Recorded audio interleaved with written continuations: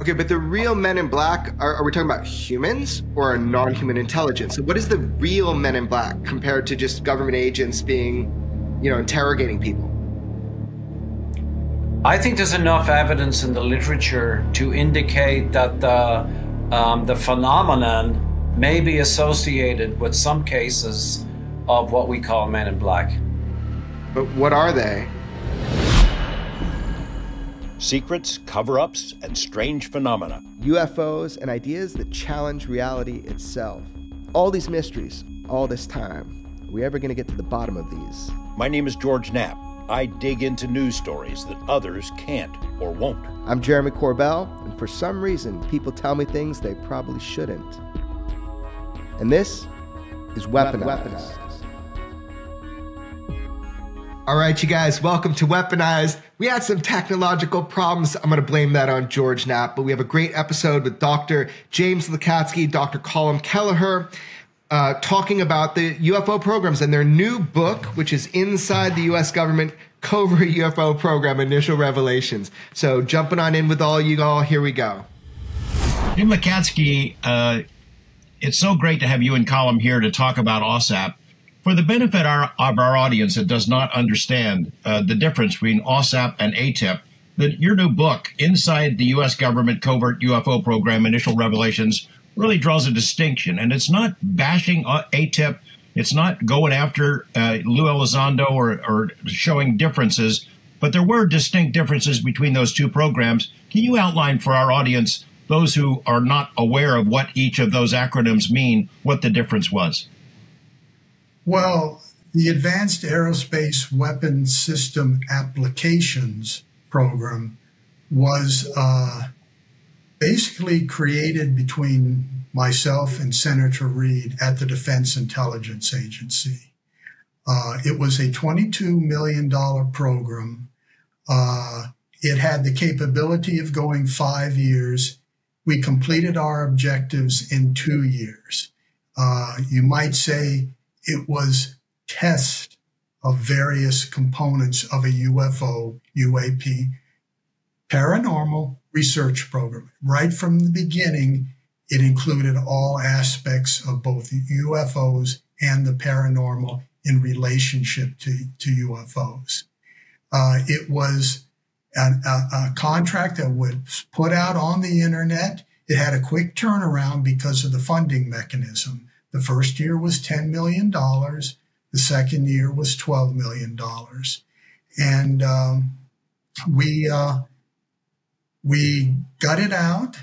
We had numerous interested parties who wished to bid on the contract, but following the regulations, it first had to go to small businesses. Well, the only small business, we found small businesses that were capable of bidding on it but they chose not to. Uh, Bob Bigelow's BAASS created specifically, and that was so important to DIA, specifically to address our needs in this program. And when I say needs, we used a new method of putting out this request for proposal. We did not tell the contractor, the bidder, what to do we said, this is what we wanted achieved. How would you do it? And that's how this program was created and had specifically all the right components. Let me um let me back up a little bit just for our listeners, people that are listening, and also just for the visual audience here. Um, Dr. Lacatski, first of all, in December 2017, the world learned that there was a UFO study program and that it was funded for $22 million. They, they heard that that program was called AATIP, but what you've told us is that no, you ran the program in the DIA for studying UFOs, and it was called AAWSAP, Advanced Aerospace Weapon System Applications Program. So you're talking now about a government study, a UFO program studying all the physics and the nature of UFOs up to date. And so you're kind of coming forward with these books with Dr. Kelleher and, and George Knapp, and you're laying it out for people. This is what we did. This is how we did it. We don't want it to get messed up. You know, we want to tell you what happened. It's a big deal. it's a big deal that you're speaking to us right now as uh, you know a, a, someone from the DIA who studied UFOs.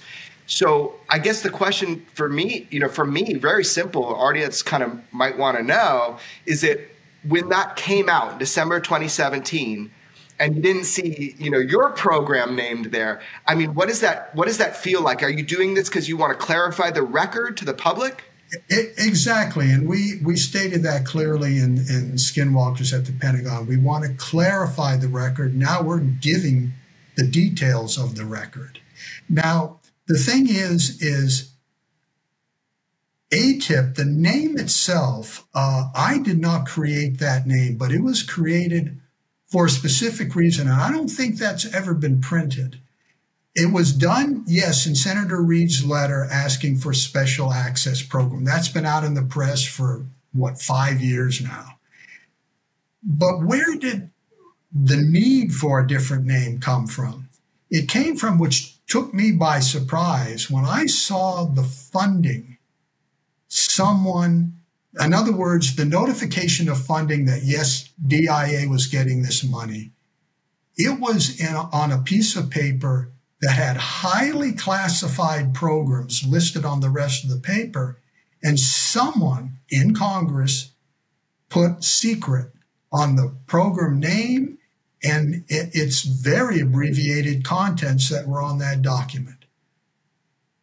I did not want to get us crossways with any security considerations. I wanted a different name. Now, I believe that who we called Axelrod, or perhaps Lou Elizondo, or perhaps some of their cohorts, and maybe all of them came up with the name AATIP. That name would have been a great problem for DIA because AAWSAP routed the money to the Defense Warning Office of DIA period. It had to be that name. So the contract may have been called that too, uh, because that's what we put at the at the at the open uh, solicitation that can still be found on the internet. Uh, and uh, and I've repeated in Skinwalkers at the Pentagon, of, you know, a concise uh, uh, amount of material as to what we requested. But that's where the name AATIP came from. AATIP was something that was necessary to be uh, proceeded with on military cases. Lou handled that. I was not privy because it was mainly spun up as I was getting ready to retire. I will say this, though, that when I left, all of our references were electronically specifically scanned in electronically at DIA. Now, I can't say what happened in the years since I retired in 2016. It could have been that they're purged, but they weren't physical records. So I don't see why there is a problem in people asking for them, except for the fact, and this is why these books are required, most of them were proprietary. Remember, they were monthly reports from the contractor and specialized studies. They had people's names, contractor names, the facilities that were being bought and constructed. Uh, they had security information. They had all of this, and I have already told, I wasn't asked to uh, uh, uh, have these documents clean for release. But the proprietary information is so much, I said preemptively, I wouldn't take on that job. Uh, it, it, it's just too much. We're doing it in this manner so the public knows what went on in that program within the constraints of security. I hope that answers your question because AATIP was a specialized small program.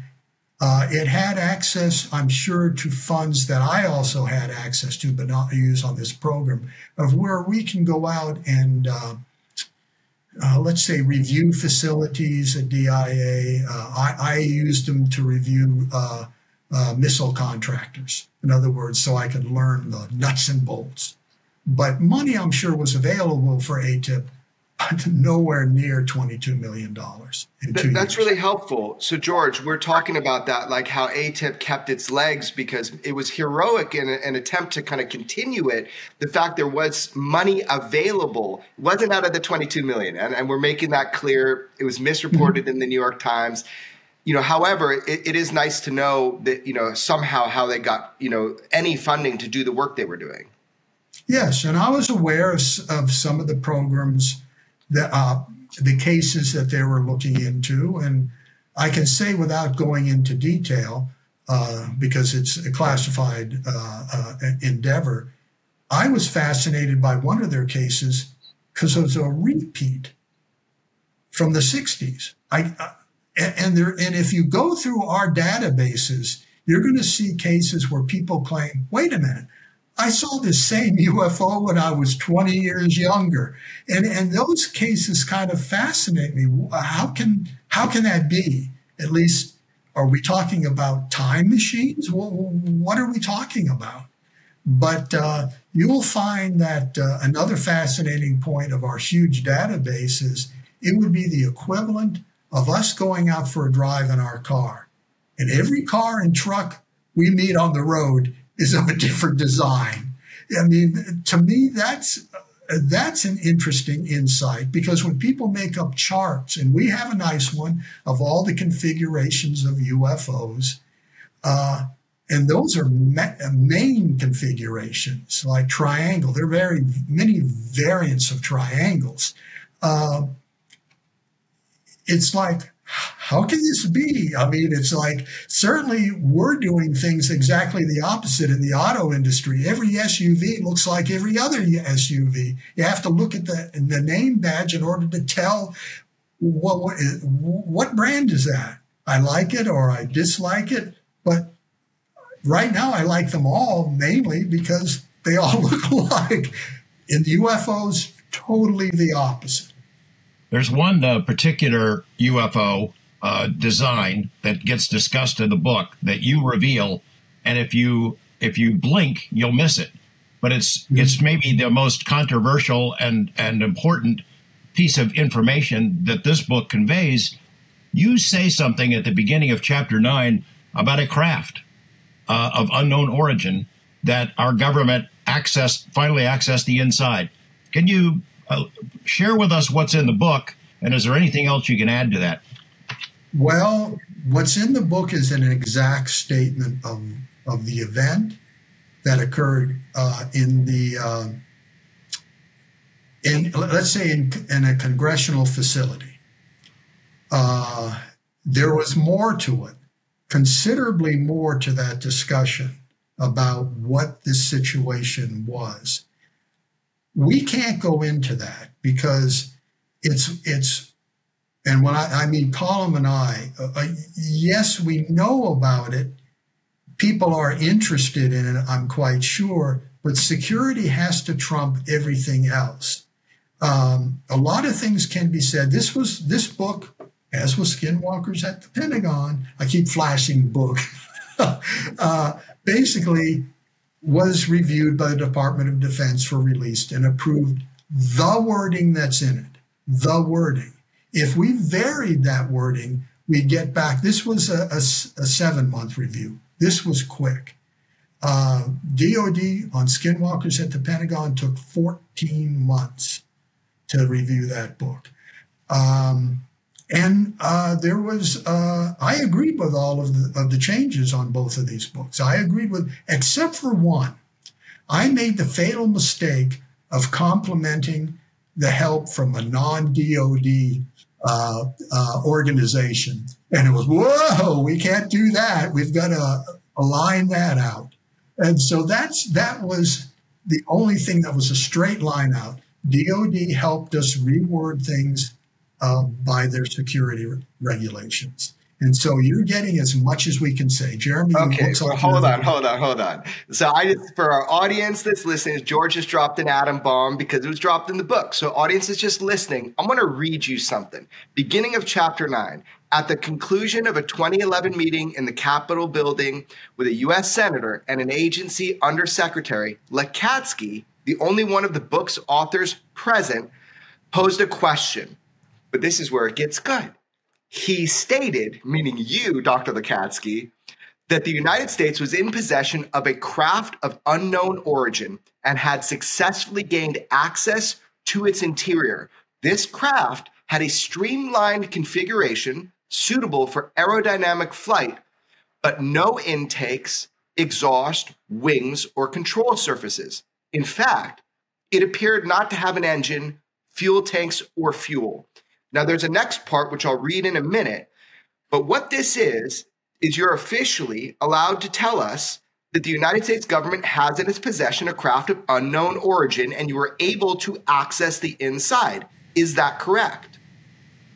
The wording that you you read is correct. Ah, you're going beyond the wording. No, I'm not. I'm not. I'm asking you, did yes, that meeting I'm, happen? And oh, is it true? And it's true. Yes.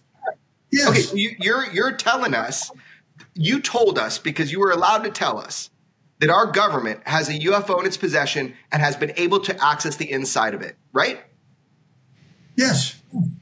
Well, that's what I know. You, I was allowed to tell you. Let me show the back of the book. This is. I know, I know, but hold up, George. Is, will, you, yes. will you translate, yeah. George? All right, let's, let's try another tack. Um, how do we know it's a craft and not a doorstop? We accessed it. It has no engine. It has no wings. No no no fuel. It doesn't. We don't know that it travels. Do we know it's a craft or it's just a, a rock? George, you're you're going into the further discussion that occurred that day. All right. Uh, we can't we can't go there. Uh, but let me tell you, we're going to try to cover that in the future. But it, it's it's delicate. It's it's it makes it why makes is it, the why is it delicate? Described, described in here look primitive. Why, why, is it delicate? Why is this topic that the United States government has a UFO in its possession and we've been reverse engineering it? You've done admitted it. Why is it delicate? The the details. You you I'm old school. I'll use the term I won't use the term adversary, competitor as, as the as the way we describe we are surrounded, maybe not surrounded, but hopefully uh, not so, by our enemies. And our enemies, you can be sure they're listening to this show right now. You can be sure that they were monitoring AAWSAP. You can be sure that perhaps they had employees hopefully not in DIA, but in the contractor part, that was we're giving out information. For uh, I am, I am, I know that. So the thing is, is we can't say anything more than what we've been approved to say, and there's insight to this. But I want to, I want to, I want to shift it just slightly, but it, it shows my point Skinwalkers at the Pentagon and Initial Revelations, if I might use the shorter title on this new book, has not what I would call zingers in it, but has some interesting doors that have not been even mentioned. One, why was this program started? Two, why was this program ended? And we've raised this partially and skinwalkers at the Pentagon. Did it end? Uh, also, we had a chapter in Skinwalkers at the Pentagon where we met with a high level Brazilian official at a meeting, started introducing some of our cohorts. And no one ever asked us, why did you have that meeting? What was so important about that meeting? You know, there's a lot of, of, of, of material in there that as Kit Green, Dr. Kit Green, one of our consultants on, on the AAWSAP program, said, read between the lines. That applies both to skinwalkers at the Pentagon and initial revelations. Read between the lines. Now, you may come to the wrong conclusions, and I can tell you on the topics I just read, read you don't have enough information to come to the correct answers. Uh, okay, so, so why? Sorry, go ahead, George. Go ahead, go ahead, Jeremy. Go ahead. So, so why? Why did the? You're asking one big question people should ask is why was the UFO program started? You, maybe you can't tell the full story, but give us a hint. Why was the UFO program started? You said that's important. I, I can't do that without without documenting more and getting approval. I mean, can I, I assume? I, I just can't I, do that. I know, Jeremy, you, you, and I have met previously several times, and you you want the bottom line, uh, but the bottom line may not. Let me just give you the bottom line may not be what you anticipate. In other words, there may be no bottom line. There may be multiple bottom lines, and uh, we've got a lot of work you know, if AARO is going to move forward from this point, they've got a lot more work to do. Why? One of the questions that you posed to us just now was why was the program started? Okay, you can't answer that. But another question you're saying people should ask is why did you do all the, the defense intelligence reference documents? So, can you answer that? Why did you do all those defense intelligence reference documents? And the answer is no, I can't answer that because that that would that, that that would be an answer that would just uh, floor people. Really? Yes. The, the so real you- answer. And, and, by the way, I, I I I I don't know whether there's ever been real criticism, but there kind of has by the nature of some of these topics. Uh, we solicited the input for the topics for the 38 papers from uh, from Air Force intelligence, CIA, uh, naval intelligence, and uh, uh, ground intelligence. That those are the topics they chose to do, but they were completely legitimate at the time. And by the way, they're pretty close to state of the art right now.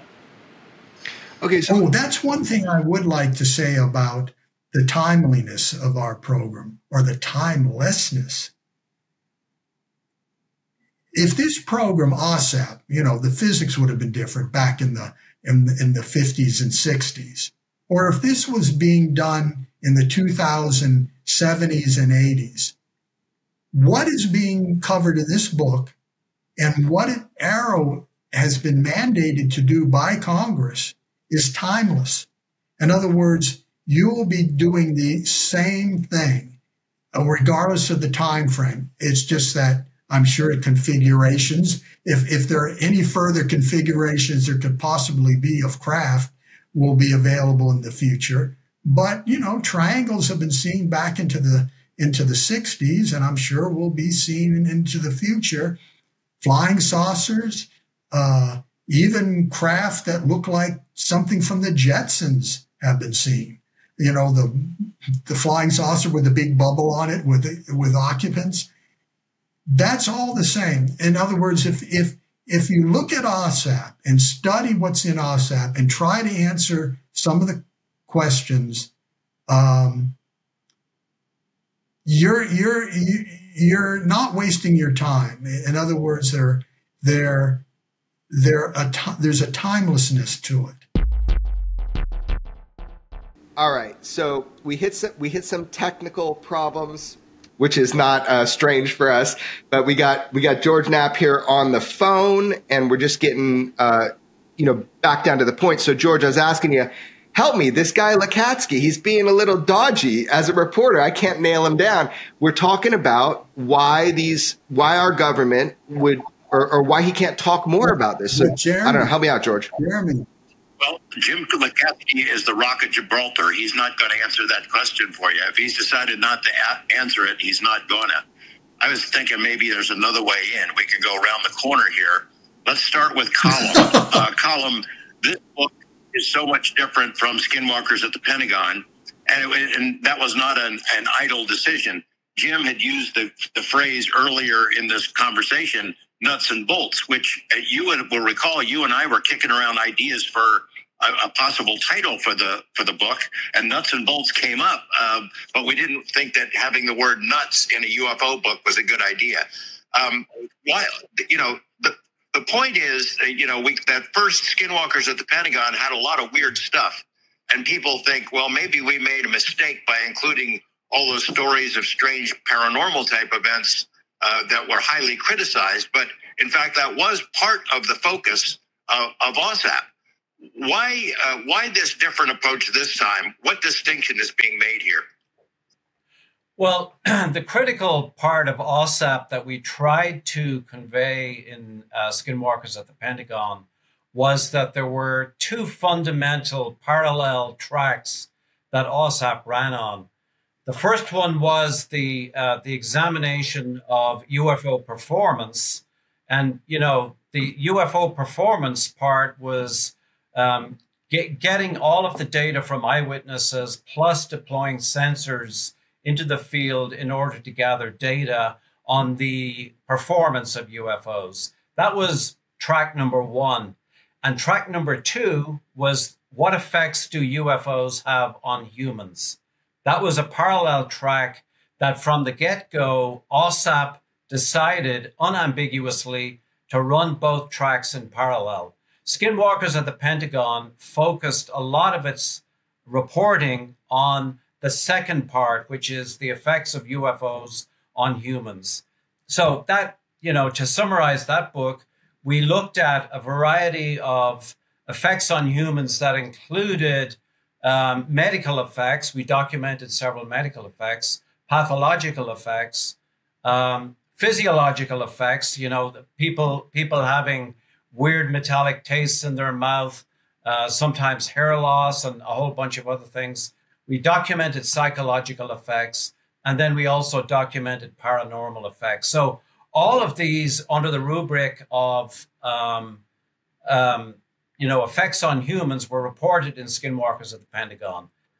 A lot of the pushback that we got from that book was that they, these guys were using taxpayers' money to, to camp out on Skinwalker Ranch and you know basically document dogmen, dino beavers, and a whole bunch of other weird stuff.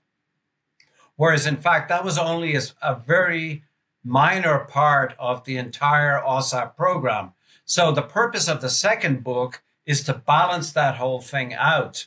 And so we we unambiguously focus the reporting on the on initial you know initial revelations the second book on the nuts and bolts aspects of the ufo phenomenon which was half of what AAWSAP was doing so the purpose of the second book is really to look at um, the ufo performance angle strictly from the uh, from only the performance angle you know things things like you know lift propulsion power generation spatial temporal translation, configuration, a whole bunch of other aspects of UFO performance that is translatable into theoretical physics, eventually into engineering.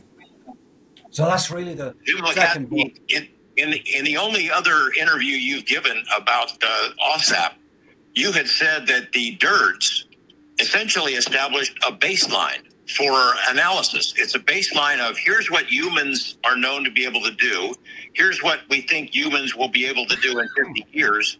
And when we look at UFO cases that you do in great detail in this book, uh, it, it is clear that this is technology that we certainly didn't have 50 years ago, that we don't have now, and it's not even clear we will have 50 years hence. Um, this is a nuts and bolts uh, UFO book, and it was a nuts and bolts UFO program, correct? Yes. Absolutely correct. Now, the thing is, is there have been, uh, again, on the internet, because anything can be said on the internet, it seems, uh, factual or not. Well, one thing that is not factual is DIA knew what it was getting into in regard to both aspects that uh, uh, Colm uh, just described to you. And let me end my statement right here. We had no choice but to pursue both aspects. Why? I said I ended it. oh, come on, man. Again, again. Hey, let me tell you, Jeremy, you cannot compete with uh, some of the offers that have been made to me. Uh, I'm joking now, but this is factual. Airplane tickets, uh, uh, speaker presentations, uh, uh, car rentals, uh, hotel rooms, pay for. You, you, just can't compete with all that. I mean. I can throw in a steak dinner. oh, man. they've I already throw in a done that. dinner. But you know what? They always Look, want. man, listen, listen. I am, I am way more handsome and way more charming than any of I- those other I people asking you to resist it, but, spill. You know, the thing, the thing is that the bottom line is what they all want, and then when I hear the phone of the being clunked on me is when I say I cannot go beyond what is stated in the book. Now, of course, now there are two books. I can't go beyond that uh, because it it needs to. Be, Oh, that's okay. You gave us a great one. You, you told us U.S. government is interested in UFOs, is studying UFOs, has been studying UFOs, is reverse engineering UFOs, Okay. has one, and got inside of one. You gave us a okay, well, thank you, thank you. That's Okay, so let me ask you about some current events here. I really want to get your opinion on this. So, as we know, we're, we're out in, in Congress, and you saw, like everybody else, and in fact, I mean, I'll, I'll spill the beans a little bit myself. We were hoping you were going to testify in front of Congress. You didn't, but David Grusch did. So, I want to ask you your opinion. Here's a guy who says that he was looking at reverse engineering programs, black budget programs, and has provided a whistleblower statement through the Presidential Protection Act, came forward and, and told us all these things that he believes them to be true from his investigations into 40 witnesses, and that has been corroborated by being labeled urgent and credible by our Inspector General of Intelligence, what David Grusch said. So, what are your thoughts on David Grusch and what he said at that hearing? I don't know Mr. Grusch. Uh, never met him. Uh, I was asked almost verbatim the, same question by a, a congressional office to me, a telephone conversation, and I said, I don't have a comment. What he's saying is credible. Now, let me do say one thing that I never witnessed, and I don't know if Colm ever witnessed this, but I never saw any what I would consider illegal activities. I saw security procedures that are paramount, but not illegal activities. So I, I don't concur with that, but it's reasonable what he's saying. And that's what I told Okay, it's, it's reasonable. It's reasonable that we have UFOs. We're reverse engineering that there are biologicals Well, associated we, we with didn't cover biologicals because I, I can't say anything about that. Uh, Why can't you say you don't know? Or I can't say anything about that, Jeremy.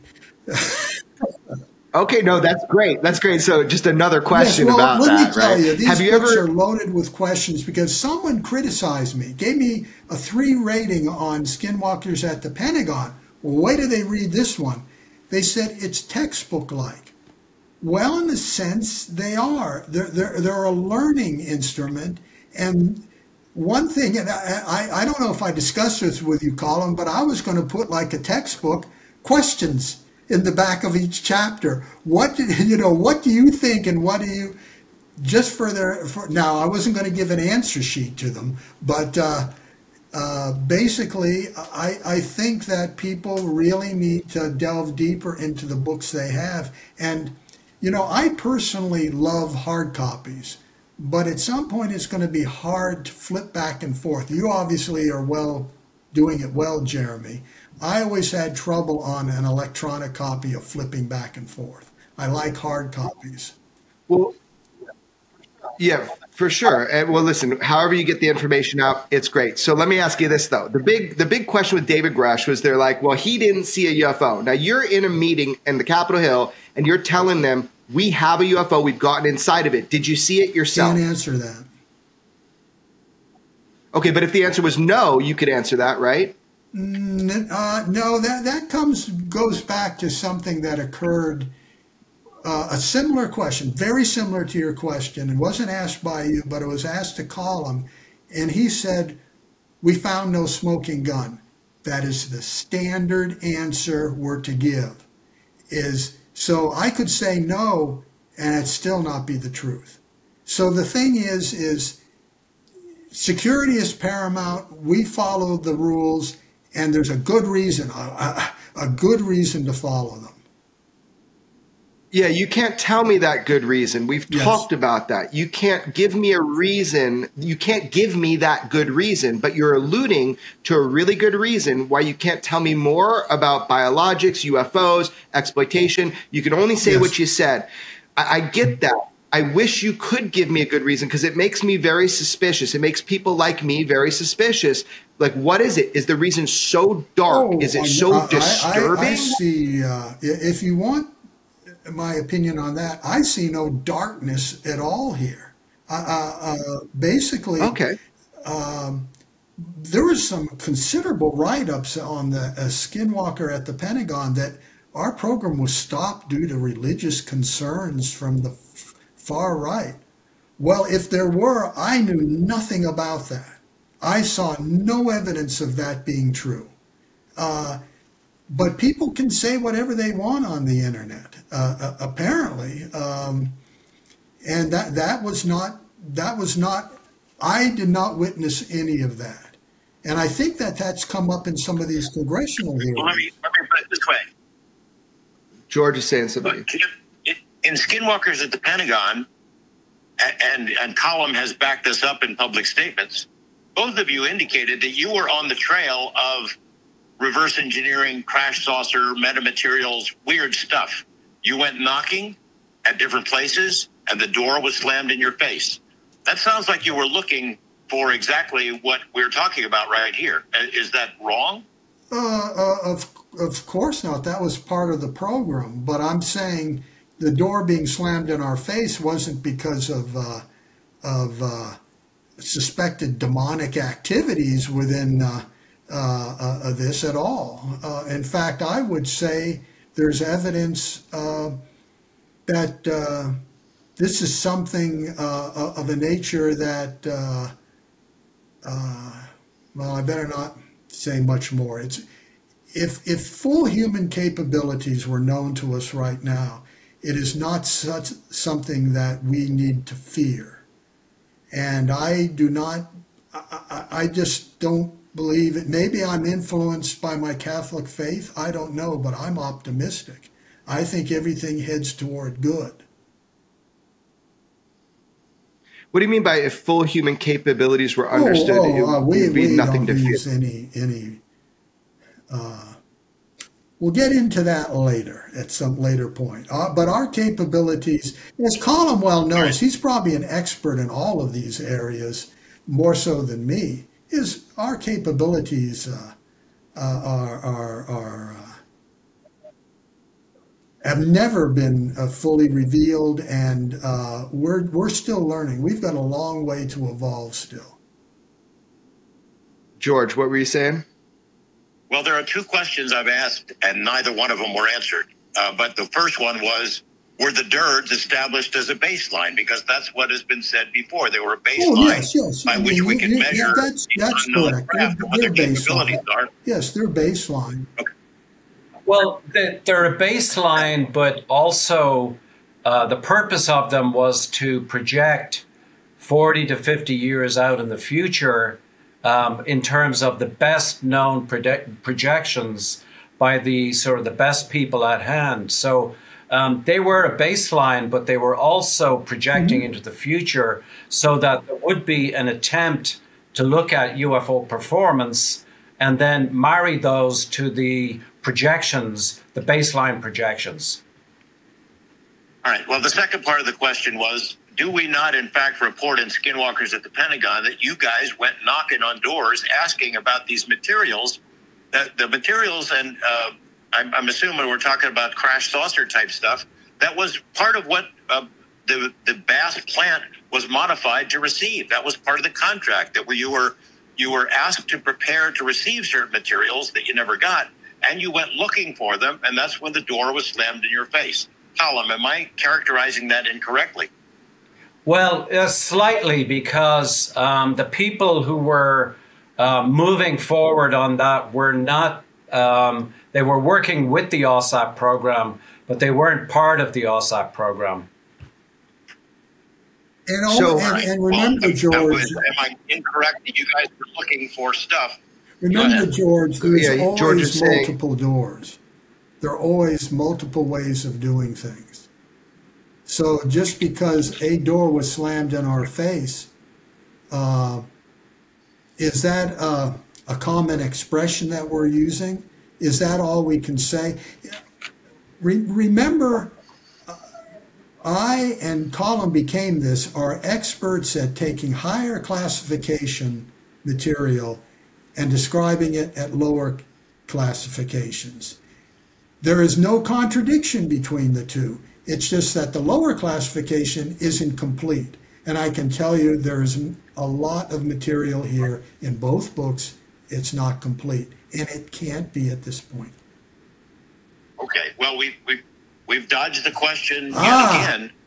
Is were you pursuing this material? Were you trying to find this I, the goods? You know, I, I there's part of your question is is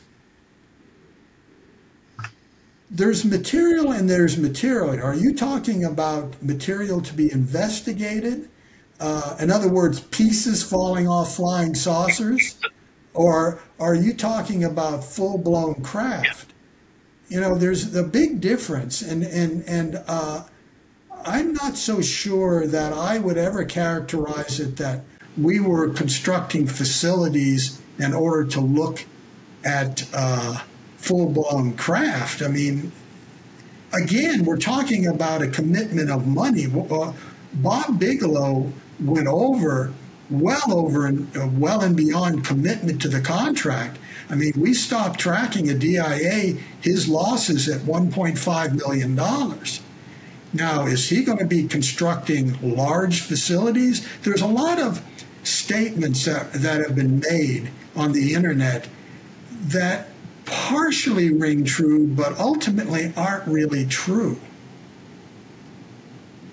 I mean, that, that's a large commitment of money on his part. I mean, and as a contractor, he's responsible for having his supplying the facilities, not the government.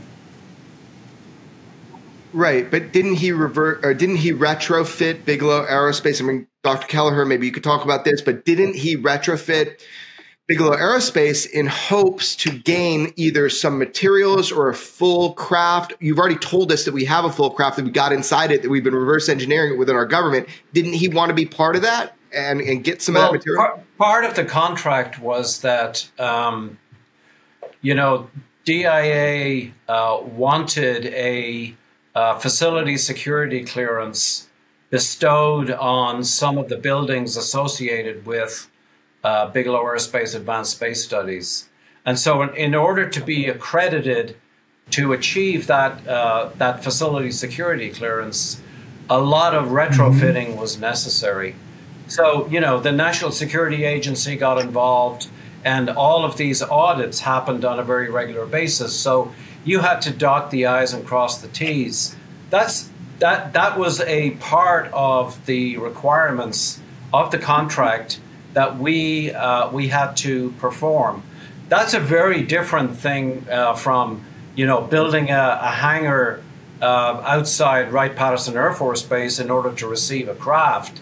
I mean, we were mandated by the contract in order to uh, adhere to facility security clearance requirements.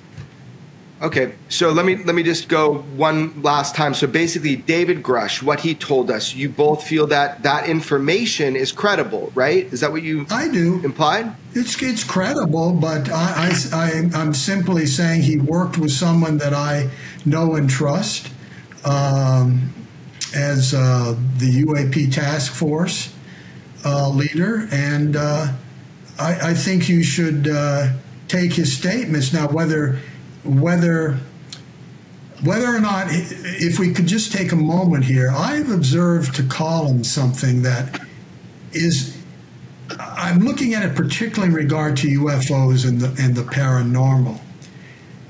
There are people who have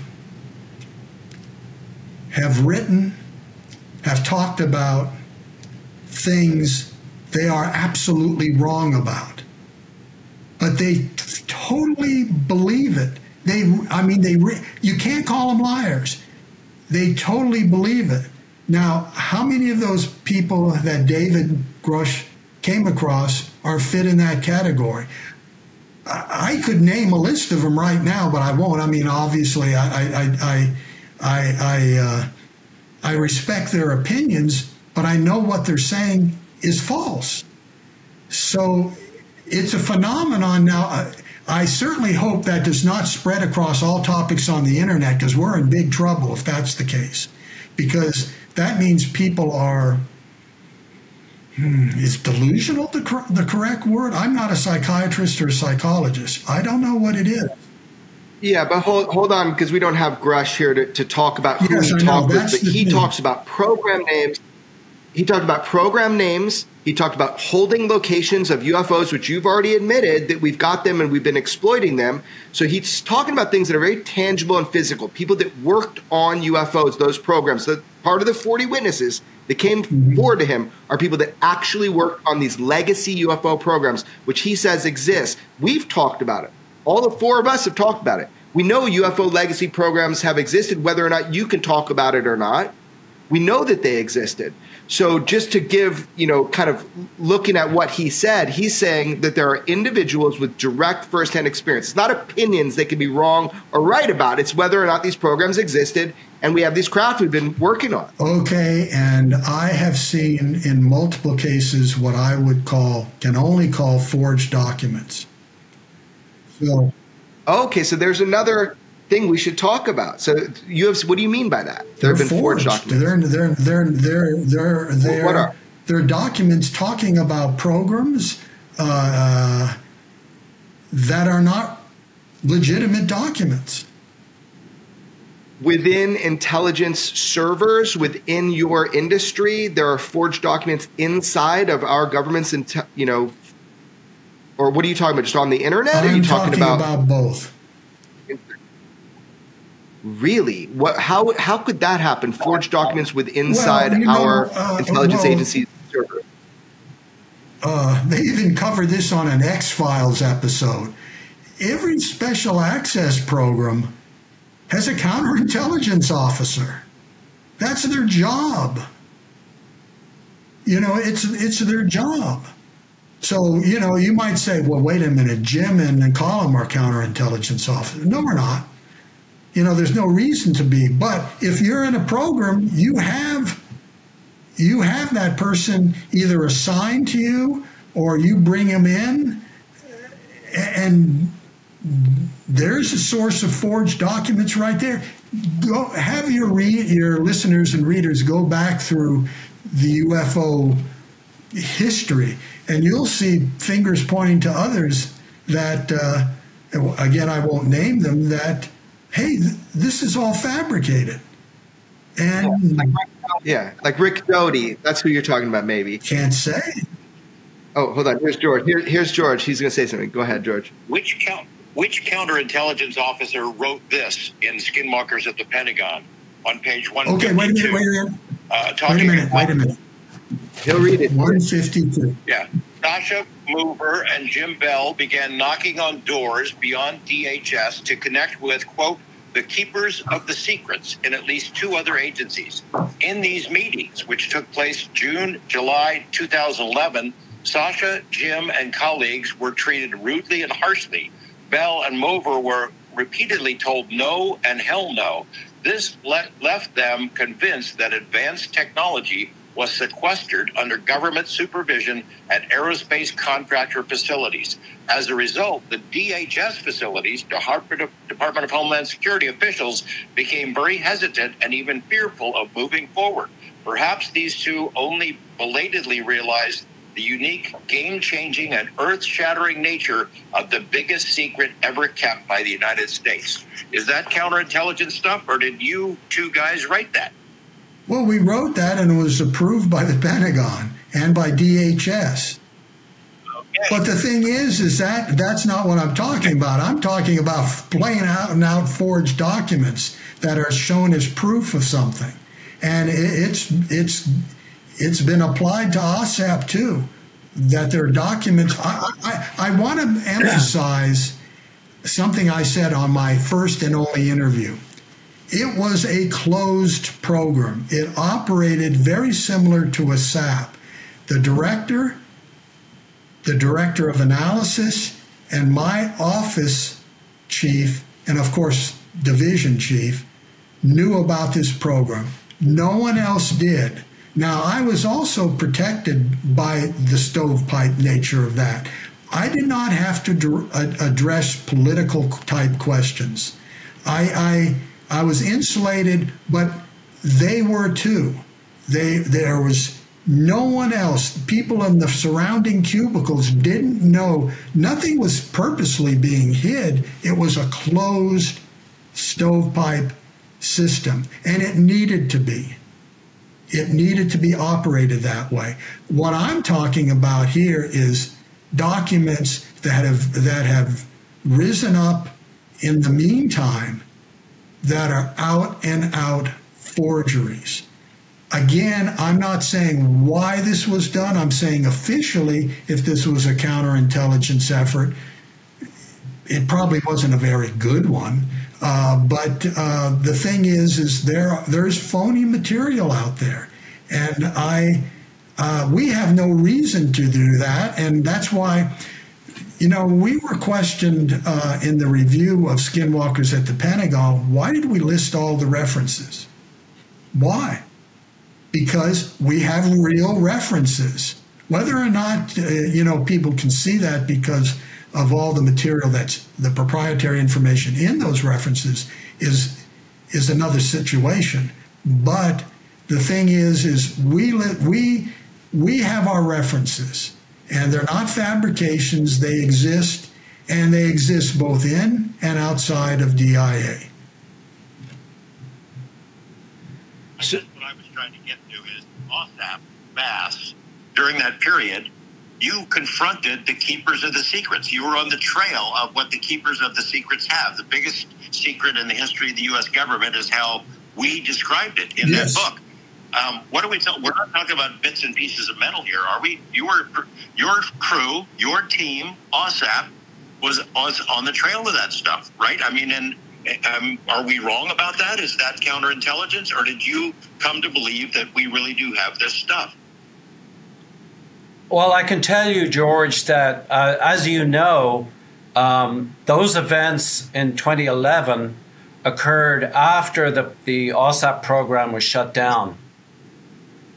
So AAWSAP was officially sort of stopped in terms of funding being received um, in September of 2010. Uh, by December of 2010, we had a 90 day no cost extension. And at that stage, the program was over. There was a lot of interaction between different departments and different agencies subsequent to that regarding additional funding. What you are referencing in the Skinwalkers at the Pentagon occurred after the AAWSAP program officially was terminated. And it, w- it involved a lot of negotiation and back and forth between different organizations. One of those organizations that we uh, worked with was DHS, as it says in that book. And those, el- those elements within DHS did their own version of due diligence. And that's what's being referenced in that book. I, I think what George is getting at is that you guys have already explained that you have gone off you know after the people that are guarding these secrets that you did find that they're storing this stuff somewhere else i mean is that george is that your your point is that they've already yeah, said i think that they that they believe that those goods exist somewhere hidden in the bowels of defense contractors by the elements of the us government they think they're real the period that Colm is describing is when jim and Colm and some of their colleagues were trying to find a new home for a version of AAWSAP. is that correct that is correct. So, on one hand, you're telling me there's disinfo, even within intelligence servers and systems where you can cover up your programs, but you're also telling me UFOs, our government knows, that's why you did all those DIRDs, and that we have them. We've been inside of one of them. You've admitted it now. I don't know that anybody from, a, from the DIA from your level of the intelligence agency running a UFO program has ever admitted publicly before that we have a UFO and have been inside of it, have been able to get inside of it. That's a big deal, you guys. Well, that still doesn't address George's question. You know, you're not addressing any of George's questions. We're not? okay. Kind of, you're dodgy. No. maybe we take a different tack and uh, try to uh, talk about the book in a general term and maybe and try to circle back. Uh, we've we've mentioned about AARO a couple of times. Jim, you and Colin have both said in a limited number of interviews that you you believe that the data warehouse that was established by AAWSAP, the biggest UFO data warehouse in existence that we know of, that it was now it was subsequently being put into use by U.S. government agencies. Is AARO one of those agencies? And if it is, uh, have they reached out to you and Colm, or can you say? Because AARO using the database that you guys created from AAWSAP, the, the largest UFO database in history. Jacques Vallée worked a lot with you guys on that. Is AARO using that? Have they reached out to you about that? On that particular issue, uh, no, they have not. But uh, I know that the uh, originator of, uh, you know, the lead of uh, the UAP task force from whence uh, uh, AARO evolved did have it. So as for using it, uh, it, it's it's more of a tool to get broad trends. I mean, obviously, my broad trend observation is every car on the road is different. If you look at the UFO database, uh, in other words, models don't. They, if there's if if multiple craft are seen at the same time, yes, they can be duplicates. But in general, everything is different. That's something you use the database for. Also, what do you make of that? What do you make of that in general? I, am sorry. I, I, what, what do you make of that? What, every what UFO make of that? I mean, there there's some indications of what I could say, but I, but I won't say yet. I don't. I think that that's odd, and uh, why is everything dissimilar? You know, you have to. That, that's you have. There are a lot of things that you have to question here why uh, did um, why have I mean in on regard to Skinwalker Ranch, you've seen nothing yet, nothing. I mean, uh, you, uh, you'd be flabbergasted at some of the occurrences there. And yes, there is documentation for these. Why? What, what for for what, what purpose? And and uh, I think it's very dangerous to commit to an answer uh, that someone knows the solution or what's occurring. I think it's. Why is it so? I, I, I can also, uh, going back to George's question, um, I can answer that also from my perspective.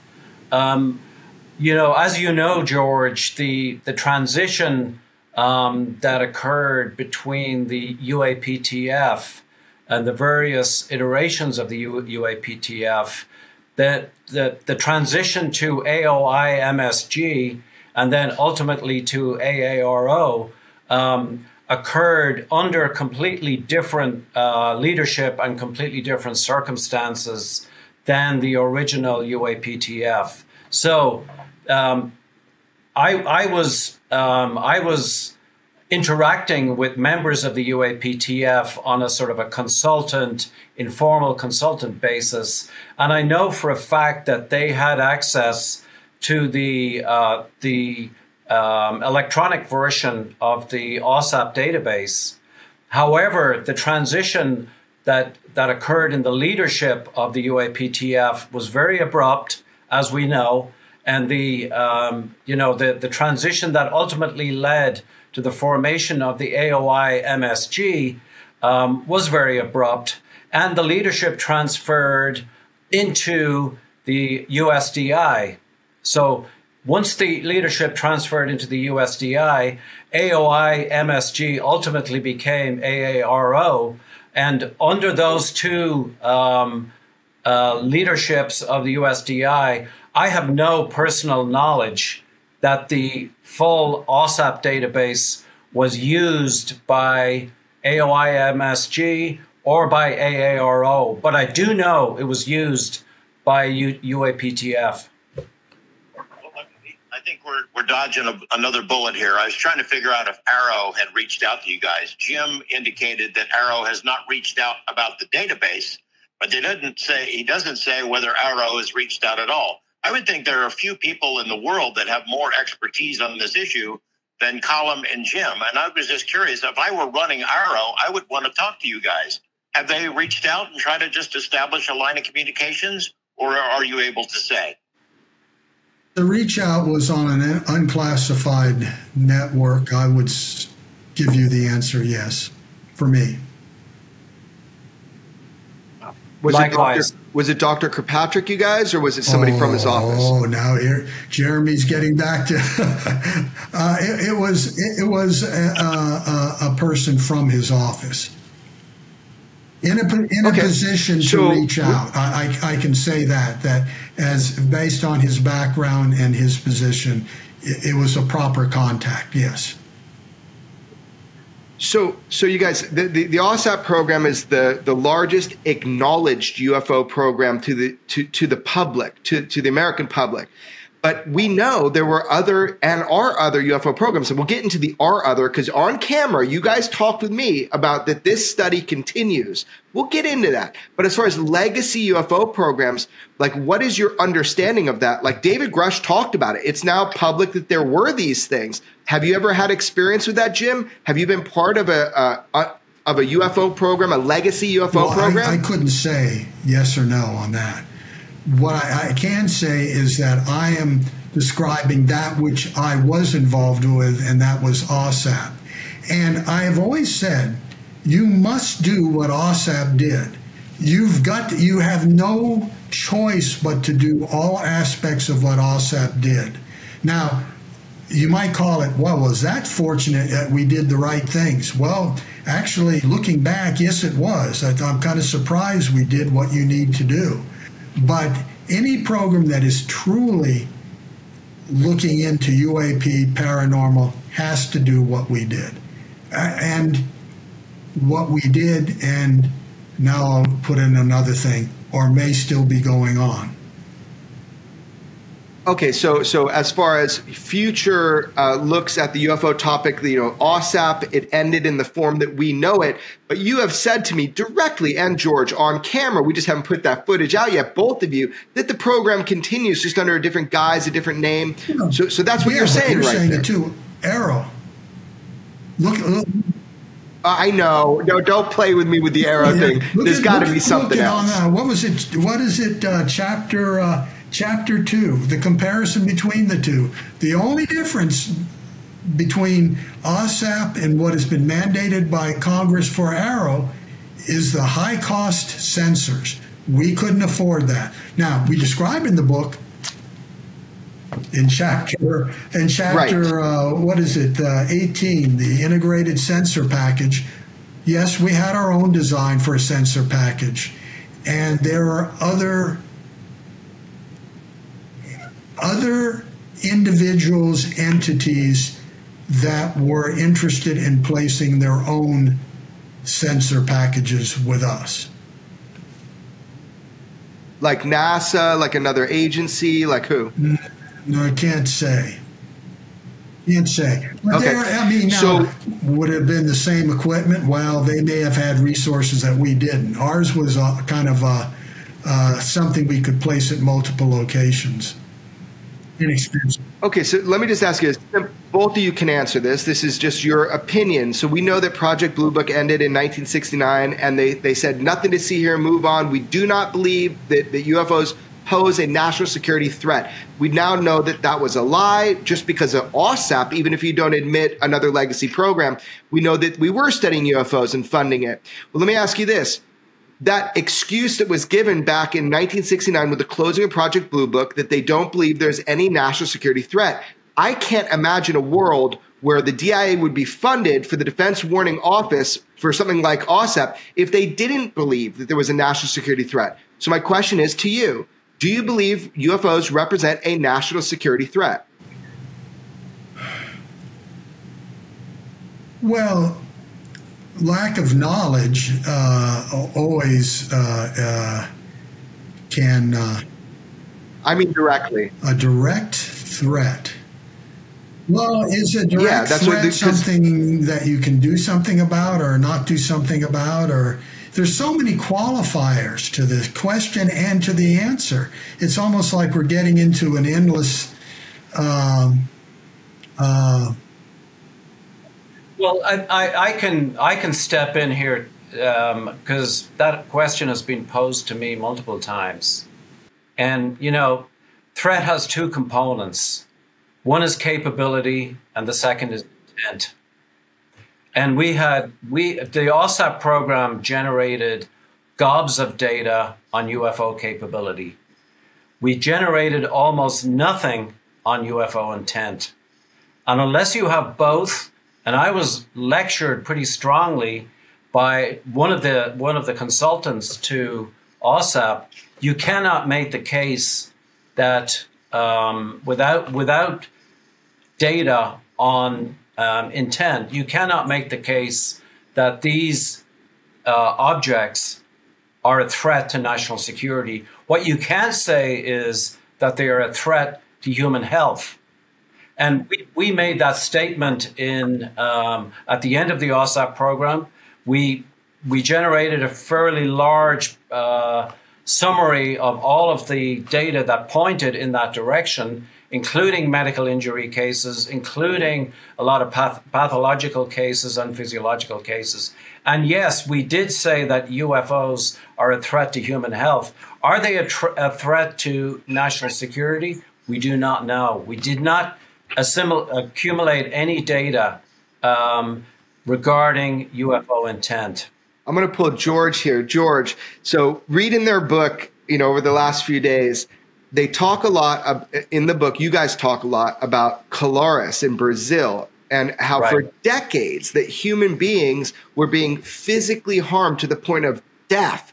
So at, from UFOs, and that their military studied it. Is this like a case? And that also AAWSAP, you're going to reveal in a future book, did actually do an in-depth investigation about Colares. So my, my question is, okay, maybe not national security, but in this case, the UFOs were fucking people up. They were hurting them to the right. point sometimes to death. So you what? So you're. T- are you telling me with your book and all this information that UFOs do pose a physical threat a lot of times to people, like in Brazil? Yes.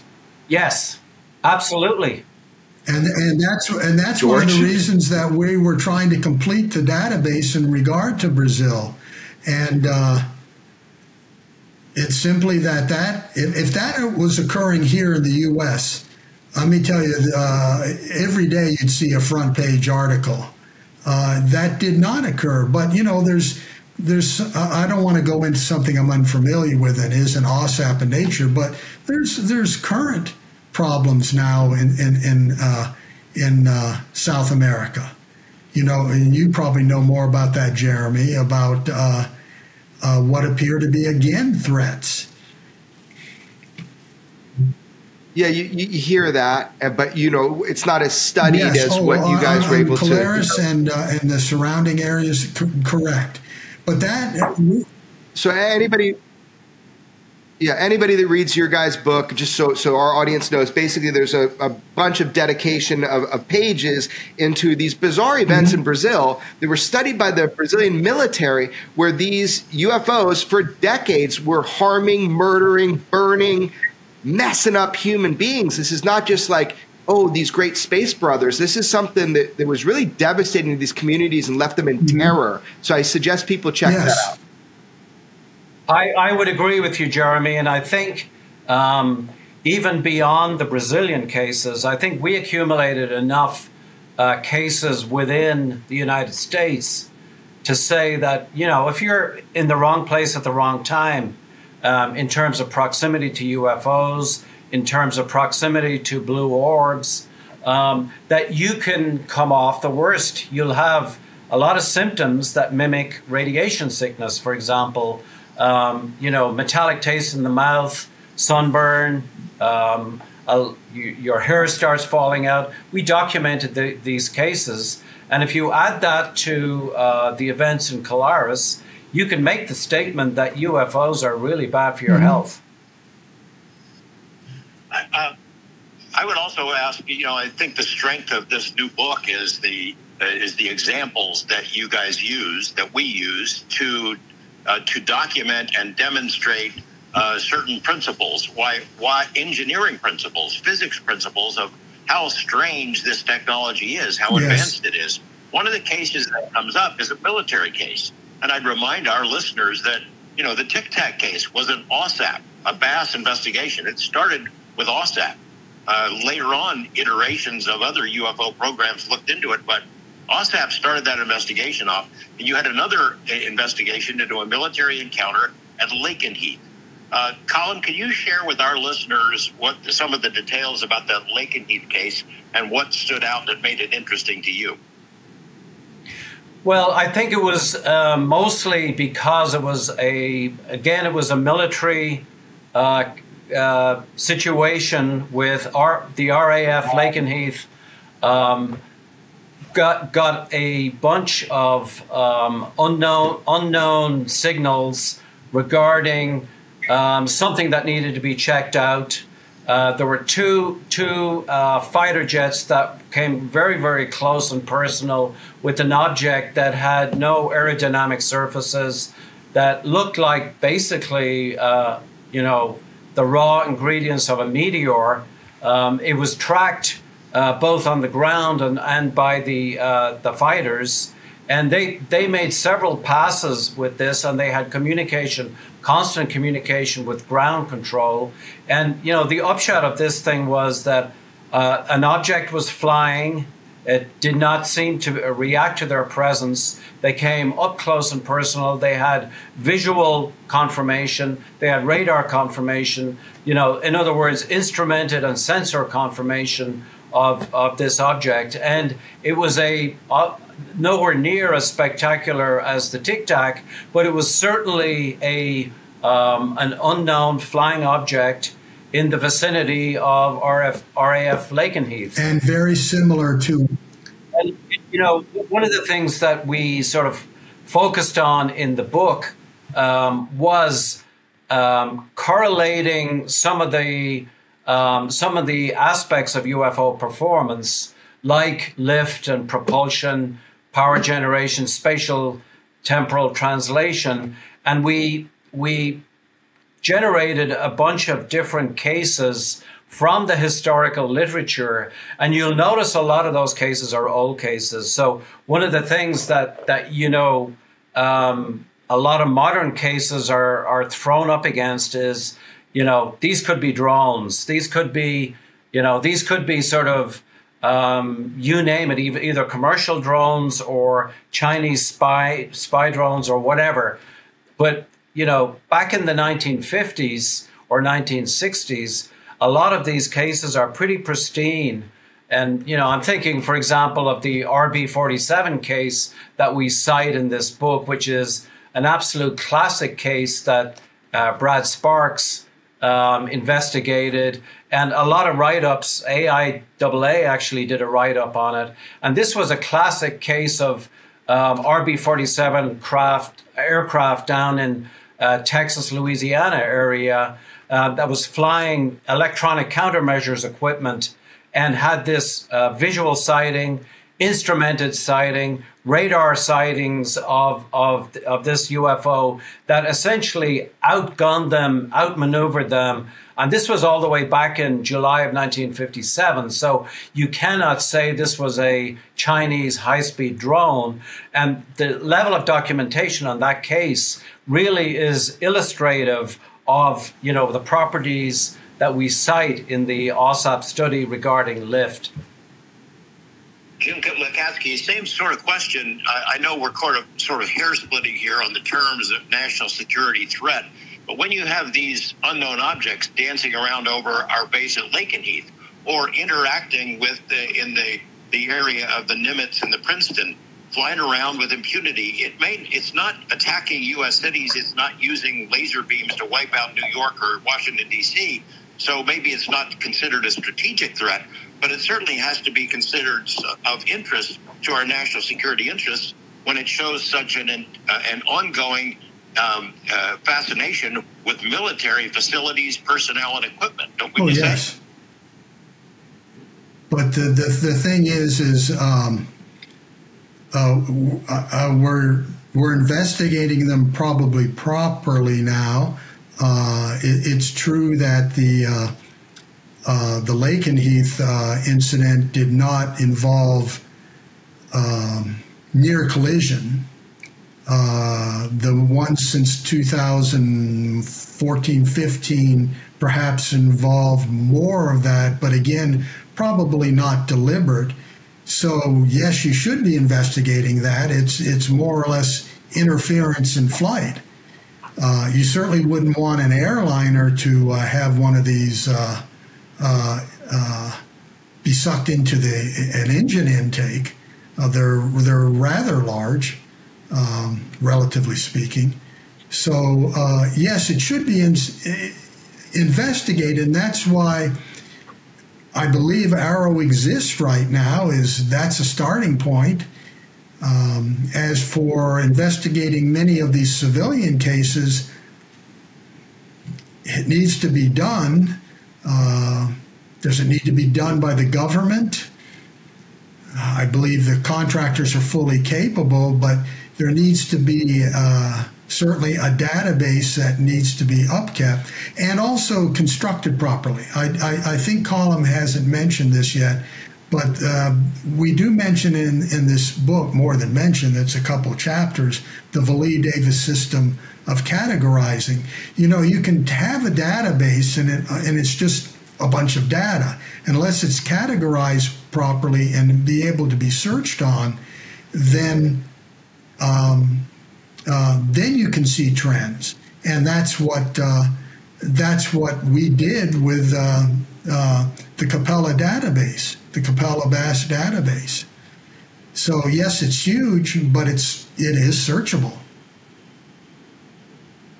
I, I want to read something from your book. So, when you talk about future work in your book, you make eight suggestions, a couple of which are establish a data facility mm-hmm. liaison, uh, you know, for operations, collect and analyze uncorrelated target data, which would be from like NORAD, yes. right? This is something that a friend of mine in George's, a journalist named Chris Sharp, has really dug into, which is he's getting information from them. Well, we don't keep any UFO data. We do keep uncorrelated target data, though. Where do they put that? So you would like to see all that come in, be able to analyze what they call uncorrelated data, which is things that do propel through the sky with intention, but we don't, we can't correlate it to our own craft. So you'd like to see that data come in in future yes. studies. But one thing you said, it when you guys gave the eight different suggestions for future work, you talk about collection of oral and written histories. Now, let me just read you what you wrote, two sentences.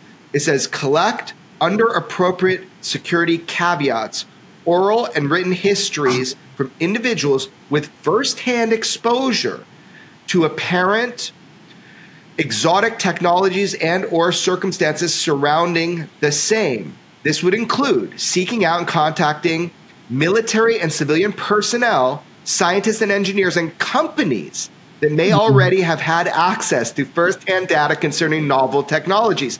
So, in writing that, you got to know that there are corporations, companies, military individuals who have direct firsthand experience in this exploitation program or programs well, yes about UFOs. And no, but you're reading something exactly that was in the um, uh, both proposal and which I don't think will ever be released, the proposal from BAASS, and also the program pr- planning documents for the startup of AAWSAP.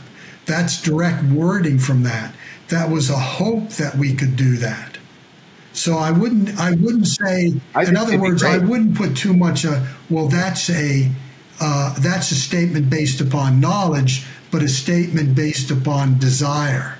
In other words, that those those are exact words from the document. I, I should say, you know, since uh, SATP, Skinwalkers the Pentagon, was a compilation document, it was written. Uh, on our new book, we tried to keep, with editing, of course, we needed to editor edit the grammar and the spelling. We we tried to keep as close to the original language that was in our documentation that DIA received. And the reason for that is I, I want the, the, your listeners and the readers of this document to understand they're in the same management shoes or position that we were. This is the document that really came in. So I wouldn't put too much into the statement you you read because it was used as a plan. And as I said, these plans ne- never came to fruition mainly because one, the core items were completed in the two years, and two, it, it would have required more money and more personnel to do them. Okay. And, and, and time. Fine, fine, fine, fine. But Jim, like, do you think the American public deserves to know about the ultimate reality, the fact that there are appear to be non-human intelligence flying spacecraft or something that looks like yes. them. That's why we're reverse doing, we're, we're doing these books. We're trying So you believe the American public has a, a right to know? within the security limits. Within security limits, security comes first. But the thing is, is national security comes first. But that's why we're assembling these books and we're trying to accurately assemble them based on real references that may or may not be available to the public. But you're getting direct ac- extracts from these these references. No, it's it's great. I just wanted to see where you stand on that UAP transparency or not. I mean, we got to crack the egg saying, am I a disclosure No. advocate? The answer is no. What's the difference in your the mind? The difference is security. You know, there's certain things. Oh, and and now now if if if this involves security plus because having come from the contractor world in the in the first half of my career, I can say if there's heavy investment of contractor capital, their overhead money into technologies, and they've been given these technologies, they're going to hang on to them. It's just like, hey, wait a minute, uh, we've invested a lot of our personal resources into research, and that can apply to every topic. It's going to be difficult to pry loose technology when something's been given over and a private company has invested their money, their stockholders' money, into research. So that's an entirely different aspect, but ours is security. We're trying to release Yeah, but but does it doesn't it drive you crazy? I mean, I get it. There's security. I get it that private companies were given something, have invested a lot of money. But isn't this topic kind of bigger than these issues? That those two issues, the fact that we're we might not be alone. Well, yes, but I think that we can convey that through the proper method, and that's what we're trying to do. Okay, so you are trying to convey that in the to the American public. in the public. proper way. I'm not I'm not going Okay. out there and and and uh, and interviewing with uh, everybody uh, to say what I really feel. Uh,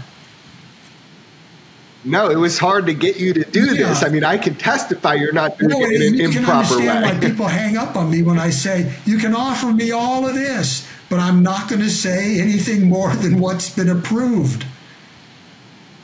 So let me get back to George here. So George, what do you think? You know, are we cracking the egg here with, with Jim and Colm? Oh, not even coming, not coming close. Uh, let, let's put it this. Here's another tack we could take. Jim, uh, Dr. Katsky, um, you know, I, I believe that you have made it clear that you were uh, in contact with Congress. Uh, I know that you were asked about testifying and you declined. Do you feel that telling Congress all of what you know um, would constitute a possible threat? That uh, you know, a mutual friend of ours, of uh, mine and yours and, and Colm's, has said it many times. You can't tell your friends without telling your enemies.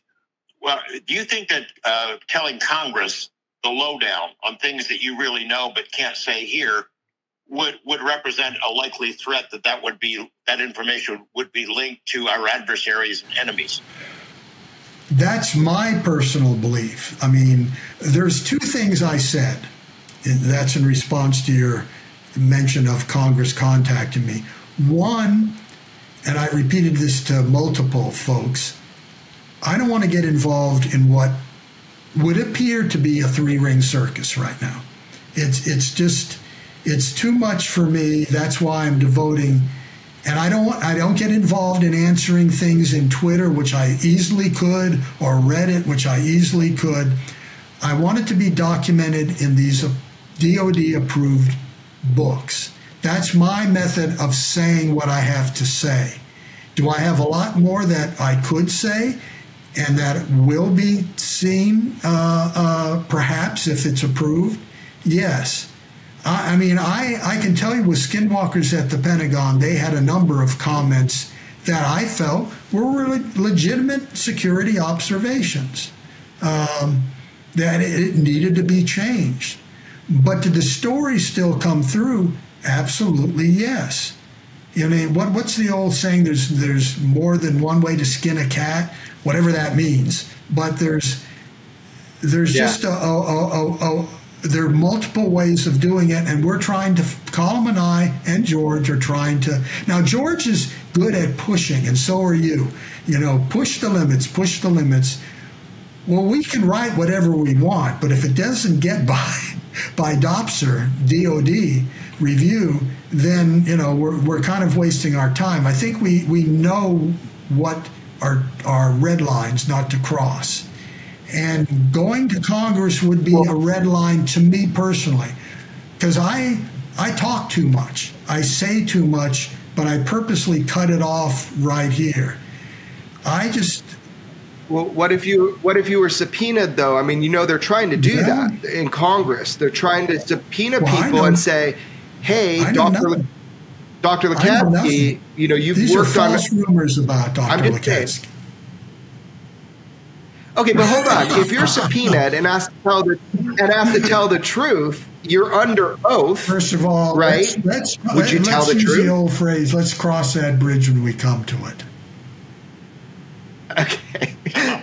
George, I'm, I'm laughing so hard right now, George. I wish you were on video. So, George, I was thinking, um, do you have? A, I, I want to bring Colm into something that was written in the book. It, it sounds like something Colm has tried to answer for me before. It's about the nature of the phenomenon itself. So, let me read that, George, from the book. Cool. Um, okay, guys. So, when we're talking about what we know about UFOs, George and I have talked about this a bunch. What do we know? Okay, we know that UFOs represent a, a huge amount of energy in a small amount of space. That's that's been proven. However, what do we really know? And you guys have something in your book that is just it's just a couple sentences or one sentence. It was so profound to me, and I want to hear you guys elaborate on it. It says, "Everything works as if UAP were the product of a technology that inter- that integrates physical and psychic phenomenon and primarily affects cultural variables in our society through the manipulation of psychological and physiological parameters in the witness, in the witnesses. Can you guys expand? That's a huge statement. Can you expand on that? Well, I know that a lot of that um, that statement um, comes, at least from my personal experience, with spending hundreds of days on Skinwalker Ranch. And um, as we've gone uh, over before, you know, Skinwalker Ranch had both nuts and bolts uh, objects, shiny metallic objects. It also had a plethora of very unusual phenomena. Um, there was a lot of evidence that was gathered, um, and uh, some that I saw personally involving the manipulation of perception. And so there's a, a lot of really good work and really good documentation regarding the manipulation of perception by people like Jacques Vallée. Um, you know, even Whitley Strieber has written in his latest book, there's a, a lot to do with manipulation of perception. So, a technology that is both influential in terms of you know, leaving an imprint on the ground that you can extrapolate that this thing weighed two and a half tons to altering people's psychic makeup, um, there's really no contradiction there. I mean, you've got to be able to harness and work with ambiguity if you're working with the UFO topic at all. Because putting them into one box, you know, the nuts and bolts box or only the psychic box just doesn't work. You've got to uh, you've got to balance the, the idea that a technology can manipulate human perception, and even from a long term perspective, manipulate human cultural phenomena, as well as you know operate as a machine. So you've got to you've got to hold those two balls in the air, and if you're not capable of doing that, you should not be looking at UFOs. Yeah. It's you know a lot of people have filed FOIA requests, uh, you know, based on skinwalkers at the Pentagon. We we listed all those reports that were produced by AAWSAP and BAASS, and you right. know there's some great stuff as we know. Um, but you know people write to um, the DIA, and the responses they get is we don't have it. Well, there is no such report. For example, there's an analysis that is referenced in Skinwalkers at the Pentagon um, about an, uh, an analysis of Tic Tac, for example, that case and, and a few others. Um, DIA's answer is uh, we don't have it. Uh, it doesn't exist. Um, do you suspect that those documents will ever be made public? Dr. Well, that particular one, as you probably already know, um, uh, was a complete document uh, uh, analyzing uh, a tic tac object and a spherical object, and it was done based on BAASS capabilities at the time. Uh, it actually is. Um, well, the way it was written was it had that plus uh, background material on the tic tac, uh, and I, I would say that there was information in there that was personal information, not proprietary information. We were using commercial software.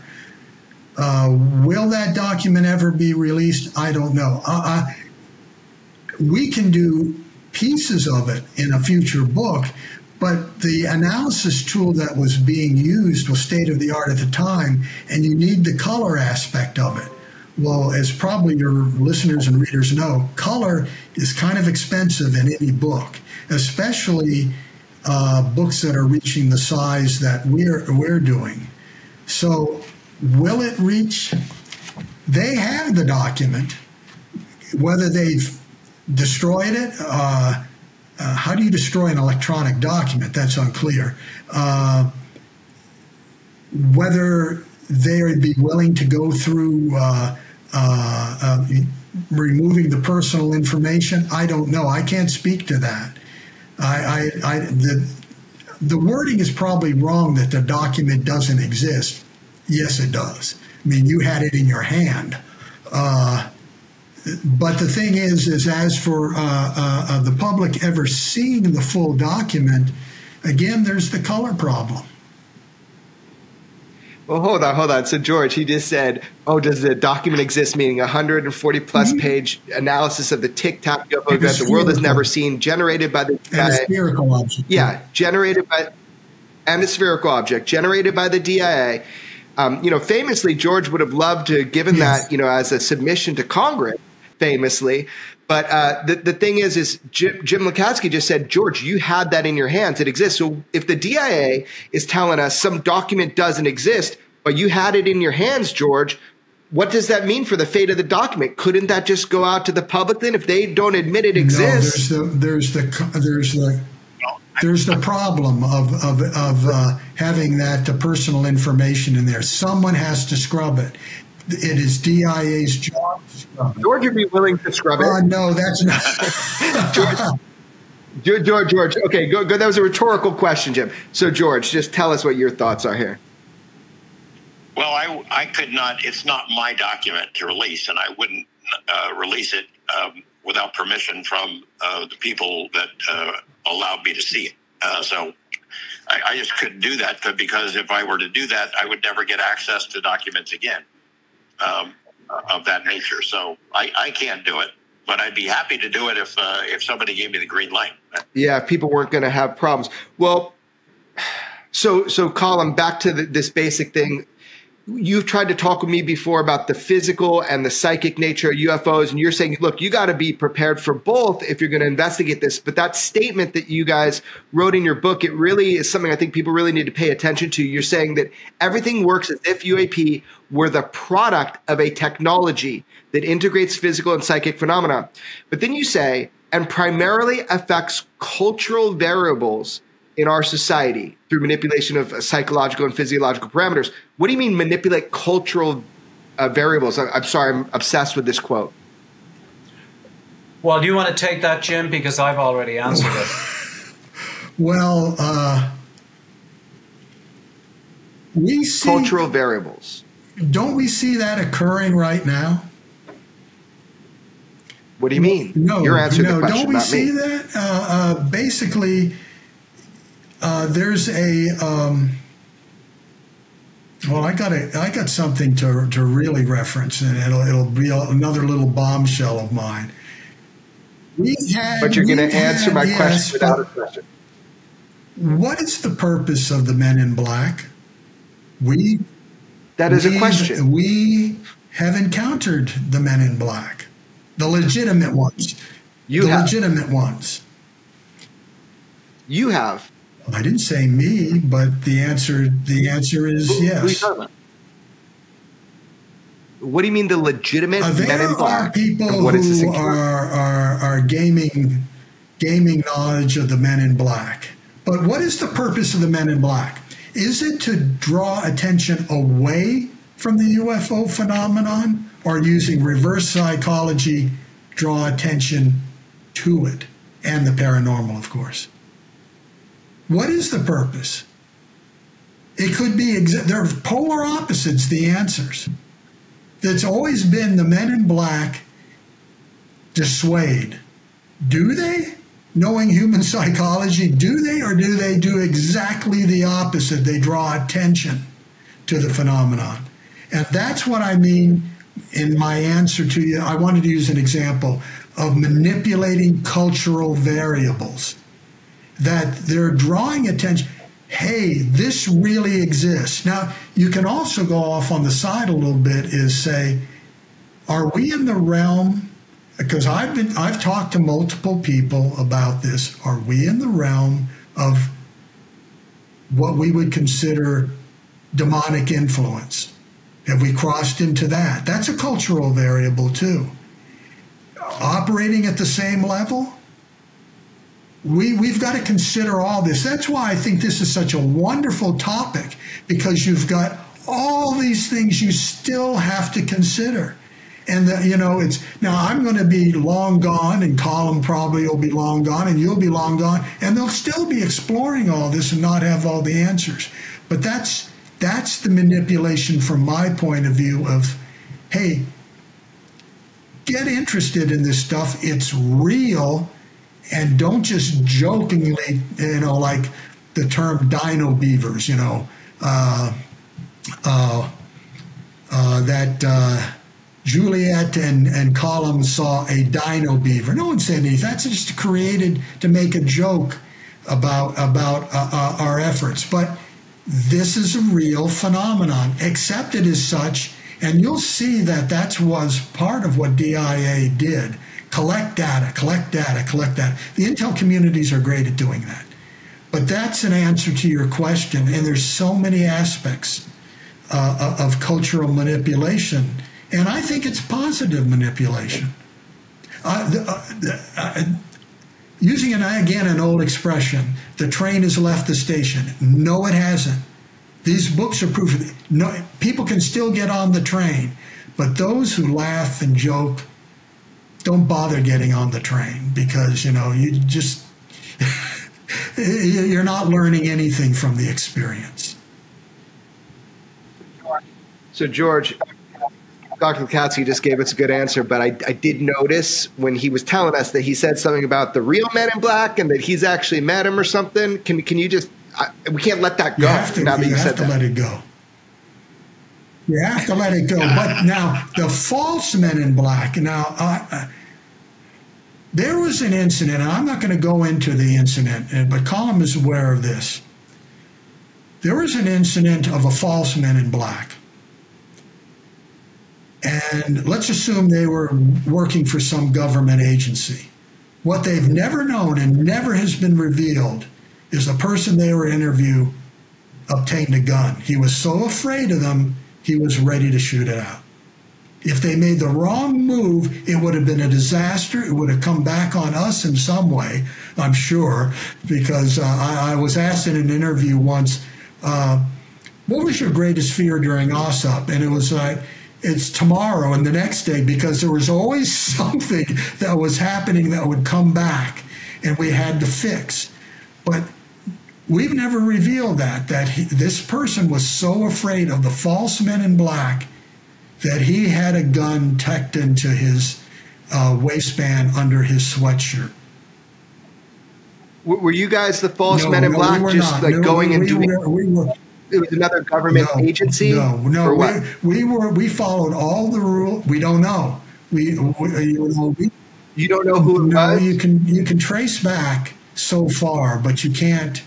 Uh, if it was a counter intel operation by some organization, then it would could have. I mean, that was a bad decision on their part. Bad. They shouldn't have pushed this fella to that point where he was ready to resort to violence in defense. And he was in his own home being potentially threatened. Well, you know, I think there's a long history also of, especially back in the 60s and 70s. I think everybody is aware of this, of the Air Force Office of Special Investigations um, having people um, out there um, trying to dissuade witnesses from talking to the media, um, threatening them. Um, in I think in the 50s and 60s, threats were much more overt than they would be now. But I think there's this this multiple arenas of men in black, um, all of which are sort of mutually supportive in driving paranoia um, in uh, witnesses and in the field in general. Um, and a lot of these are multiple agendas for different reasons. And uh, some of them are mimicking uh, the real men in black, some of them are the real men in black. It's a, um, I think it's one of these, I would class it as another example of what I call bidirectional mimicry. Okay, but the real men in black are, are we talking about humans or non-human intelligence? So what is the real men in black compared to just government agents being, you know, interrogating people? I think there's enough evidence in the literature to indicate that the um, the phenomenon may be associated with some cases of what we call men in black. But what are they? Well, they're parts of the phenomenon. Okay. So not just government agents walking around. Well, there's government agents that are also um, at the same time in parallel working on, um, you know, on intimidating witnesses. I know, but I'm not talking about the government agent. I'm talking about what you're calling the real men in black. So you're like, there yeah, I'm, I'm saying that they're part of the phenomenon. Okay. I think there's enough. I think there's enough data in the literature, especially if you go back all the way to the 1950s, um, to corroborate that statement. Uh, even in the 1800s, there, there was a phenomenon like that. If you read uh, John Keel's uh, Trojan Horse, Operation Trojan Horse, there's in the 1800s, right. there's a version of the Men in Black. Well, George, I am highly frustrated as always when I talk with Dr. Kelleher and Dr. Lacatski. So, what do you think, George? Where does this go from here? Well, there's a lot of great stuff in this book. I mean, you know, part of the a lot of criticism that came at us from skinwalkers at the Pentagon is too much woo. It's just too weird. And I always thought, you know, um, I was proud of what we did with that, and, and because it followed the evidence where it led, uh, and and uh, the people who were involved with AAWSAP, with BAASS, and, and some of their allies. Uh, looked at this without self censorship. They didn't decide hey, this is an interesting UFO case, but it's got this weird poltergeist angle, so we're going to toss that out. They had the courage to include it because it was necessary to, to look at the big picture. Um, and, and that was where we started with the skinwalkers at the Pentagon. This book narrows down the focus. People have complained and griped and bitched and moaned that they want data. Here's some data. Here's the principles that are laid out in those DIRDs that started off the AAWSAP program, that the baseline uh, projections of what we know now and what we hope will happen 50 years down the road. And then it has examples, real life examples, solid UFO cases from government files that were investigated and that remain really perplexing. That uh, and each of those cases, uh, Jim and Colm have, have have really deftly used to demonstrate a particular engineering principle, a physics principle, indicating that these things are real, that they are beyond our capabilities, that were certainly way beyond our capabilities when they happened, and that there's a genuine mystery here. And it, it is, again, I think, in very great detail, demonstrates why this is a legitimate topic for investigation. Uh, that there's real things uh, to consider, that there's physics and engineering, nuts and bolts, and case after case that, that demonstrates um, that this is a legitimate uh, inquiry. That's my take on it. Very good. Totally agree, George. I guess we're on the right track, George. We're getting a double thumbs up here.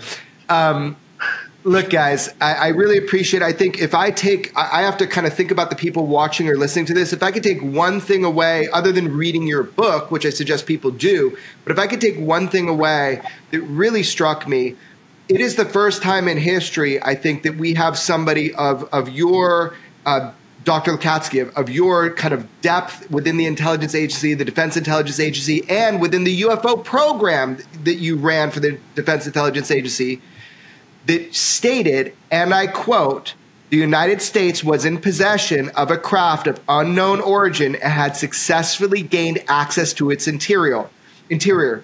So you personally know about a UFO that we got access inside of. I have to assume, Dr. Lacatski, that you've seen this bad boy. You don't got to answer me, but I'm going to make that assumption unless you tell me otherwise. Um, you also say that this craft had a streamlined configuration s- suitable for aerodynamic flight, but no intakes, exhaust wings, or control surfaces. So if I had to take something away from all this, you've just made the admission that our government is reverse engineering. If we got inside of it, we're reverse engineering UFOs. You see, I'm not speaking at all. I mean, I'm not going beyond what it was, what you read from the book. okay, well, thank you very much. Uh, I, I, I, do appreciate that, that you did put that uh, in the book. Look, we have Dr. Eric Davis in the New York Times saying craft you know, um, not made here on Earth. There are individuals like you who have come out and pushed the envelope a little bit, and I thank you for that. Even if you can't sp- speak further from the book, that is a huge admission.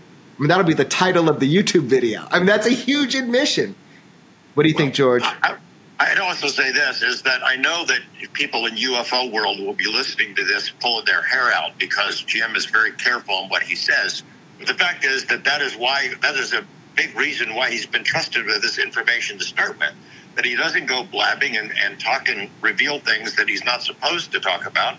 And that's why I suspect he will continue to be trusted um, uh, by our government. And, and hopefully there's going to be a a future investigation or maybe one underway right now that he would be allowed to know about. I, I know it, it does get frustrating that we have to hair split and uh, dance around certain of these cases and incidents and, and information, but you know that's part of, of who he is and why he got that job. You know, so uh, it's it's great always to talk with Jim on or off the record, and with Colm, of course. They've helped me understand this big wide world so much and even though they've shared things with me that I can't say publicly, it has helped me so much in understanding who else is completely full of crap out there. yeah, yeah, for sure. Well, thank you guys so much. I mean, um, you know, I think that with the limited things you can say, people should read your book and start to understand a little bit more about what AAWSAP did and, and how it did it, what the thought process was. I do appreciate that. And, and for for you know just coming on the show and, and, for help guiding as george said you know what what he knows is sometimes bs just from kind of getting to understand where you guys are coming from so thank you for all this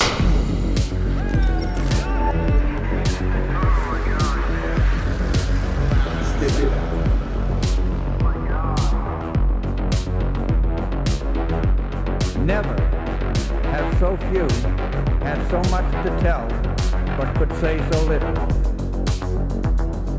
Follow and listen to Weaponized, presentation of Jeremy Corbell, George Knapp, Dark Horse Entertainment, and Cadence 13 Studios. Available now for free on the Odyssey app or wherever you get your shows.